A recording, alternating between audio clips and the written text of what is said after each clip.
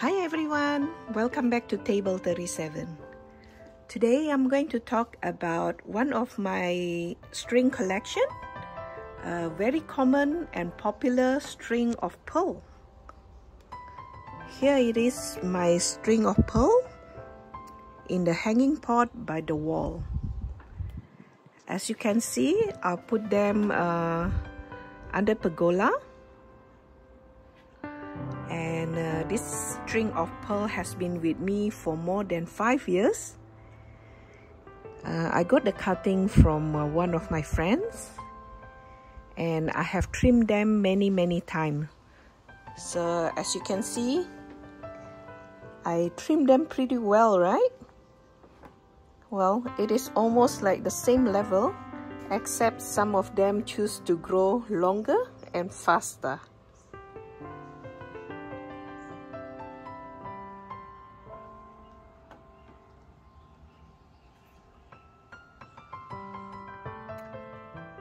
I started with just a few string of pearl. I think maybe about three or four strings. And I bought this big pot here. And when I planted that uh, three or four strings, it looks very, very empty.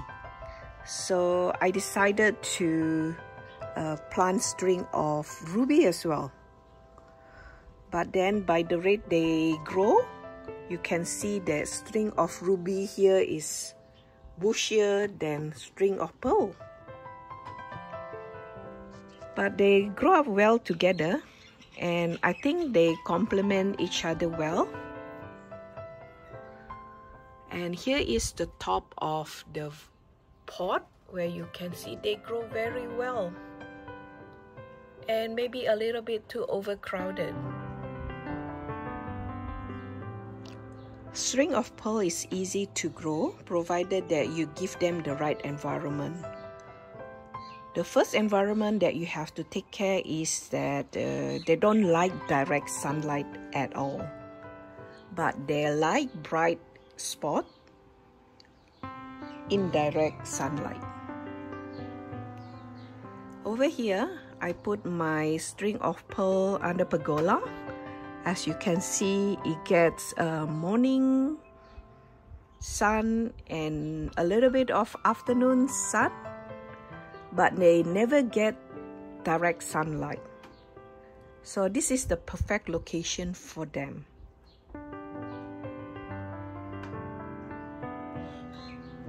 I keep my string of pearls uh, outside. I never keep them indoors because I always think that succulents grow well outside. The sunlight that they get from putting them outside is always better than if you put it indoors.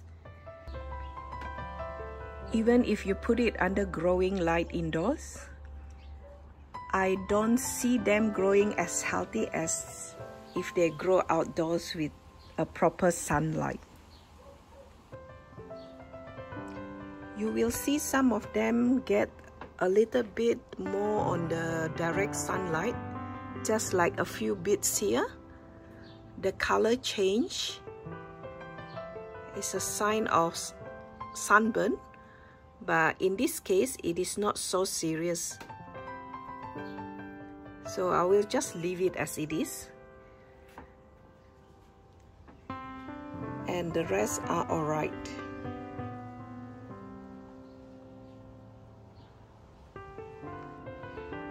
As for watering, there is a tips that I would like to share as how to water this string of pearl. They need water if you see sign of the pearl shivering up like this.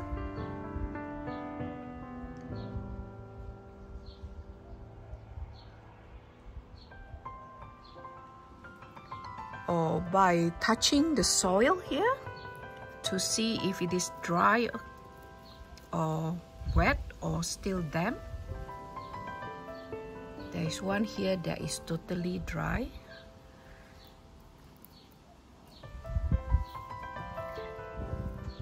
And another tips of uh, watering string of pearl is by looking at the windows.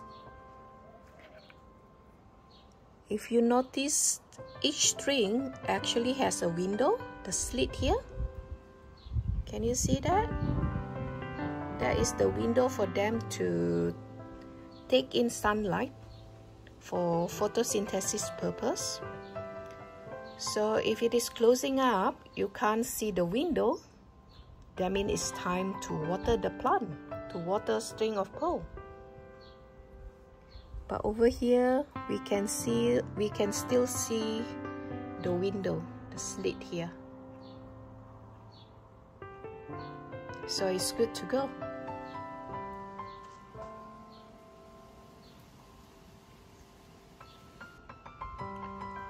This is the sign when they need water badly.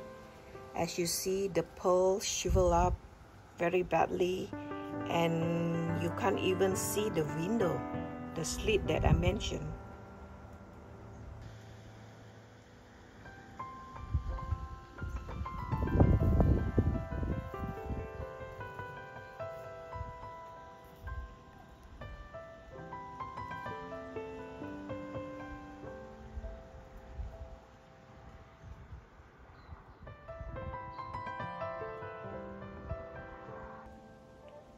Another important thing to note is the choice of the pot. They don't need a deep and big pot because their stem is very thin and their roots is very short. By giving them a lot of uh, soil underneath, it's just uh, encouraging diseases to grow and you don't they don't really need that much of the soil. Choose the right size of the pot and make sure you don't plant them too deep inside. About an inch below the brim will be good enough for them.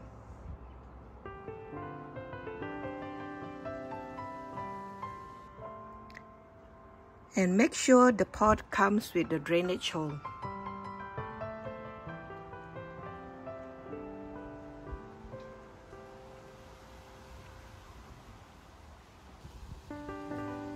They don't need a lot of soil, but they need a good, uh, well-drained soil. I always use succulent and cactus soil. Uh, I also added some perlite to make it more airy.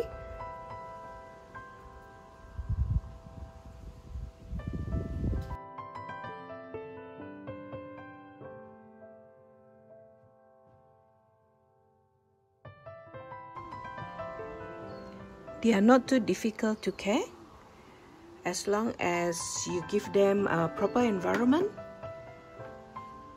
they will thrive very well. One thing that I forget to tell you is that uh, they are not frost hardy. In the place where I live, we hardly have any frost. So that's why I always keep them outside I never plant them indoors at all.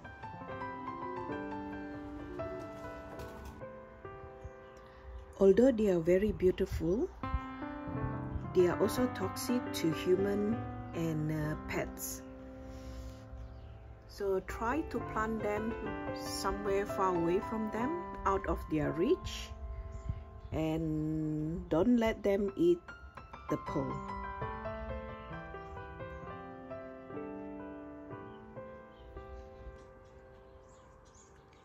Thank you for watching. I hope this vlog is beneficial to whoever want to have this beautiful string of pearl. And I'll see you next week. Bye.